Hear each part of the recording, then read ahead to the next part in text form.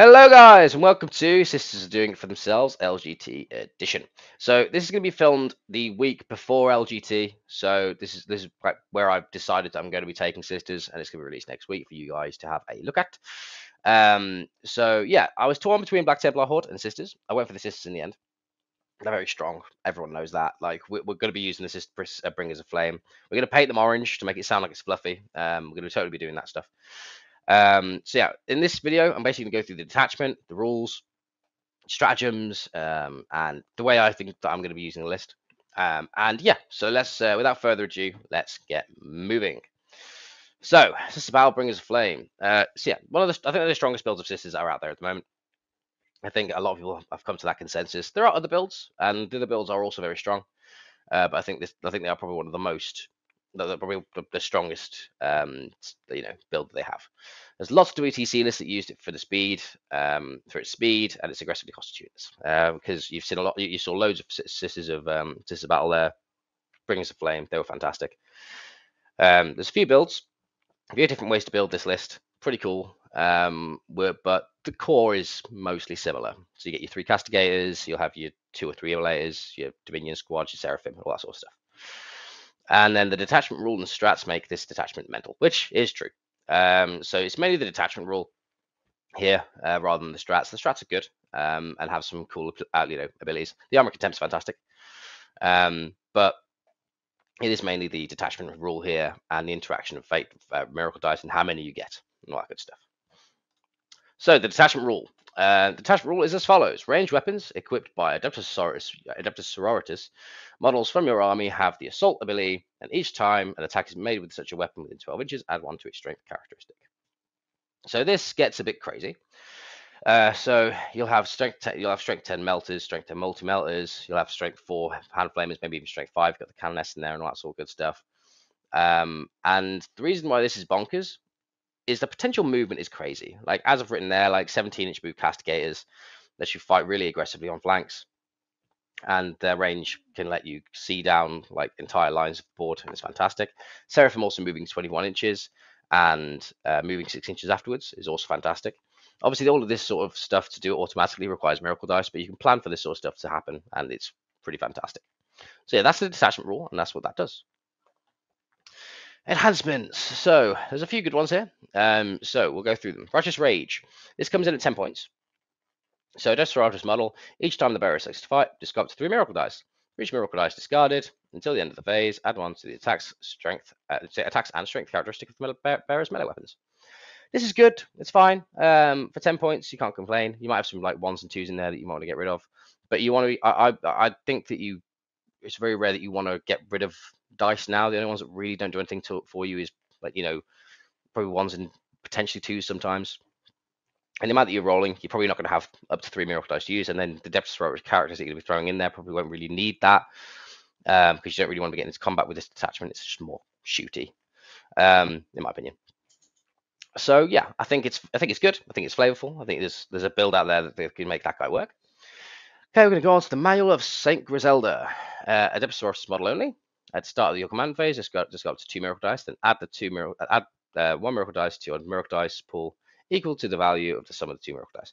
This is pretty good. Like, I'm, I'm, a big fan of this. Uh, you can put, you can, you know, you can use a, a, four and a two together, get yourself a six. So you can get that sustained and lethal on a retribute unit or whatever, and all that sort of stuff. Like, there's lots of different interactions you can do here. So I quite like it. Um, but you find that everything's so cheap it's hard to find 15 points at the end of the day, but they are very, very good. But that, that is very good and can be used in certain situations. Fire and Fury. Fire and Fury is one that you're going to see in pretty much every army, I think. so we have uh, while the bearer is leading unit, add one to the attacks characteristic of torrent weapons equipped by models in that unit. All other ranged weapons in the model has sustained one ability. This comes in at 20 points. Um, this is crazy on a couple of things. So I like it on a Palatine for lethal and sustained on a retribute unit. So that means it can jump out um, 18 inches from a transport with an auto advance six, and if it's within range of the St. Katherine, and then fire eight multi melters with uh, sustained and lethal, which is really good. And their Overwatch is crazy because they've still got the sustained lethal on the Overwatch and can use dice there. So I quite like Fire and Fury on the Palatine, but also you can put it on a Canoness for the uh, for, to get the extra plus one uh, attack characters on the torrent weapons, and then activate the Dev Wound Strat for free, which is quite a common use for them as well. So both are strong, both are completely viable, um, but I think it's down to what sort of what your playstyle and what you want to be doing with those units at the time. And finally, the Iron Surplice of Saint Istalela. So Canoness or Palatine are lonely. The bear gets a two up save and a feel no pain five plus. Like that's solid. It's five points. Five points for that. I kind of complain about. If ever listed come out, comes out to 1995, then you know why not, right? So those are the enhancements, guys. Let's move on to the next one. And the stratagems. There's uh, six stratagems, as usual. So we have the Shield of Aversion, shooting or fight phase, one of the Sororish unit. Until the end of the phase, each time an attack the target's unit, worsen the arm penetration of that attack by one. So this is basically old school armor contempt. Well, I will say old school. It's just armor contempt. Um, so this is pretty good in any situation, really. Um, you, can get tanks, which we can use. You can, this also interacts with miracle dice quite well. So if your armor contempt uh, a vehicle in cover against AP3, that goes down to AP1, and then sorry, goes down to AP2, and then cover makes it makes it AP1, so you've got four up saves. And suddenly with those miracle dice, you can use fours instead of sixes to try and save those AP3 big attacks. So this can be quite useful, um, and I quite like it. Um, Righteous Blows. This is fight phase one. So this is your fight phase. One is actually Sororitas unit that hasn't fought yet this phase. Until the end of the phase, melee weapons equipped by your models in the equipped by your models in the unit have lethal hits. If one or more enemy models are destroyed as a result but made by those weapons, uh, then they take a battle shock check. That's fine. That's pretty good. Uh, sorry guys, I have a cold. Um, so they take a battle shock check. This this is good, situational, but also good. I think if you take some more combat units in your list, uh, this can be used to some of it, so, so yeah, to some ability here. Um, but in the current builds that you find, we won't find that righteous blows will be used too much. Um, next, carry forth the faithful. I like this one. This one's pretty cool. So movement phase just before Adeptus Sororitas unit, Adeptus Sororitas transport has advanced.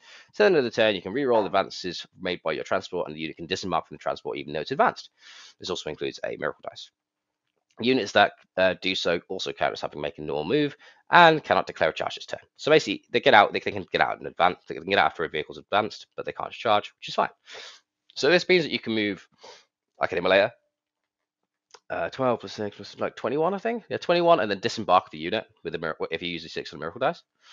Um, and then disembark the unit and shoot. That's pretty mental. That's pretty good.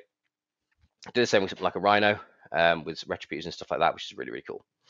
Um, and you and it says units, so you can do it on like two units of retributors that both get out, which is pretty cool. So it gives them a very, very high threat range from certain areas. Next is Cleansing Flame, shooting phase. Uh, one left Sororitas unit that hasn't been selected to shoot yet this phase. Until the end of this phase, torrent weapons by your models and unit have devastating wounds. I touched on this briefly earlier with the Canoness using this for free. It's pretty good. Like with the Canoness unit using not like you know the 96 because she has a hand flamer herself plus um, nine uh, averages out to about 40 odd hits. And with devastating wounds, they do more. You can get the real ones to wound from the Triumph as well to try and get more of the devs. This they almost they pretty much half kill um, one of the big one of the baby knights, or maybe even more. So there's lots of potential to spike here. Next is Rites of Fire, shooting phase. One of the Sororitas unit from your army that's disembarked from transport this turn and has not been selected to shoot yet this phase. Until the end of the phase, each model in your unit with a, makes a range attack. Uh, uh, make, ah, each time a model in your unit makes a range attack that targets an enemy unit within 12 inches, uh, that is also within range of an objective marker and onto the wound roll. Uh, if one or more enemy models are destroyed as a result of those attacks, select one of those destroyed models. That destroyed model's unit must take a battle check. Also very strong. So this is this got a couple of um, prerequisites though. So you have to get out of transport this turn, and you have to be shooting a model and objective, and you have to be within 12. But that's kind of what we do here with this. This is to bring us a flame, right? This strat's really good. It's great on melters, makes them more reliable. Um, you can also use this strat and then use miracle dice, to, your lower miracle dice to cycle them out, like with retributes, let's say. So if they hit shooting something like strike six, toughness six, they get the plus one to wound. They can then use the twos to wound and then recycle them, um, which is well one two to wound uh, and then recycle it, and that's pretty cool. And the battle shock to execute because it means that it can last till the next turn if they fight on death or have any stress in five phase or, or anything like that. Oh, uh, a blazing ire. This your shooting phase. Just after an enemy unit is shot, one of the Sororitas transport unit that, is, uh, that was selected as target of one or more of the attacking unit's attacks.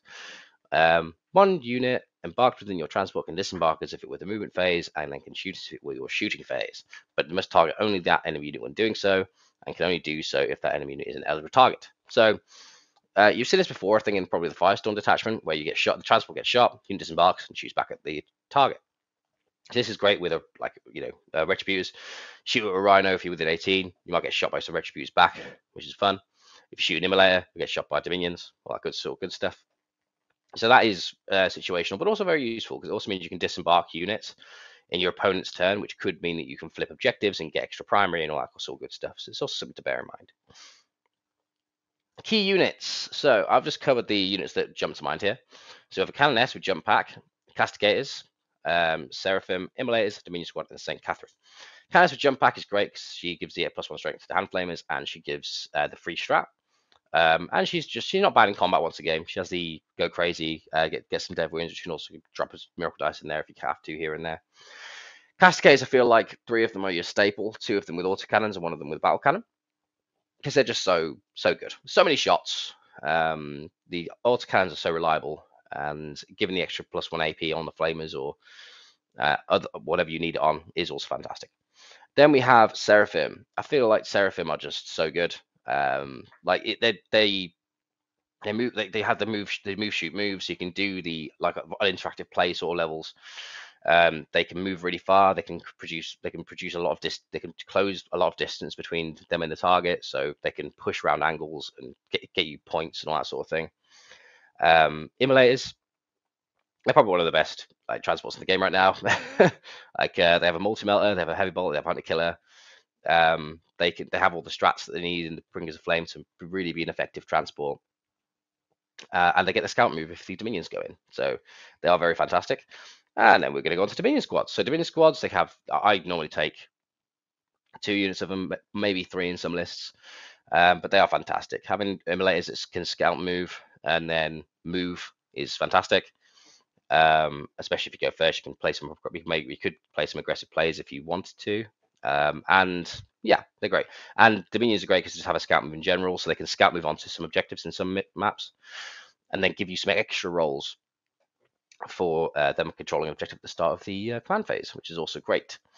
Um, then we have St. Katherine. This has all the buffs. So the main buff that she gives out is the plus two move, plus one advance, and then some reroll ones to wound or two acts of faith turn. Those are the top ones that I can think of. There are probably more. Drop in the comments below if I've missed one that you think is incredible. Um, but the two acts of faith is great. So it means if she's in the correct position, um, getting shot by, if you're getting shot by stuff, they can use two save rolls. Or if you're in shooting at stuff, they like with the melters and all that sort of good stuff, you could like on a retribute squad, you could put two sixes in, and then they could both recycle the dice out, um, which is really fun. Um, and uh, yeah, so that, that she's fantastic for that. Um, and her buffs are undeniable. And she's not easy to kill. Uh, she's got a load of wounds, uh, a load of attacks, and uh, yeah, she's very, very good for points. Okay, let's get on to the lists. So the list for my current L- my current LGT list is a Canoness with the Iron Surplice for Sweet 2 7 5 Philippine. It's only five points, so squeezed it in. Another Canoness, uh, Action Monkey, and can go into the um, uh, the uh, Dominion squad when you need to. Two Dialogus is also Action Monkeys, but also can go into the dial- uh, also can go into the Dominion squad if it's like a stat check sort of matchup where you need to kill some more tanks. And then Triumph of St. Katherine, as mentioned earlier, she is incredible. And then we have two Immolators, Multiple Hunter Killer. Uh, they're they're great, as I mentioned earlier. Why they're, why they're so incredible. Um, three Castigators, staple of most lists. I think you'll find with um, uh, over the weekend LGT. Two Dominion squads, uh, four melt guns, compared bolt gun, and a power weapon. Uh, these guys do the scout move. They have melt guns. They can do damage. That's great. And then two Exorcists. The Exorcists are great for the indirect. I was put onto them a bit last minute, but but the uh, are very very good. The indirect means you can pop rhinos, can you can pop key assets, and also makes people have to come out at you, which is what you want for sisters, so you can shoot them with your entire army. And then two units of 10 Seraphim with eight hand flamers. And uh, yeah, that's we've described those do. They have the devastating wound strat that they can have access to to basically get to fire and fade. It's uh, it's pretty good. And um, yeah, that's my entire list. I think this list has uh, a bit more action, a, few more action pieces than I thought uh, than like I thought I would have, and have the damage that I would have as well. Dialogus is great for that. um, because they can just both go into strat reserve, uh, and you can still uh, you know reduce um, um, uh, miracle dice with the Dialogus. And yeah, I, I, think I'm quite happy with the list. I'm hoping that it'll do well over the weekend. Um, and just have to see what else everyone sort of throws at me. I think there's a couple of matchups that can be a bit tough, so I'm effectively going to try and um, win a few games with it. so yeah, uh, well, thanks for watching, guys. I hope you've enjoyed my little sisters, um, you know, rant. And uh, yeah, and wish me luck. Hopefully, I'll uh, hopefully I'll be able to win a few games over the weekend, and I will do a rundown of how the event went afterwards. Stay tuned for that. Thank you very much, guys, and uh, have a good.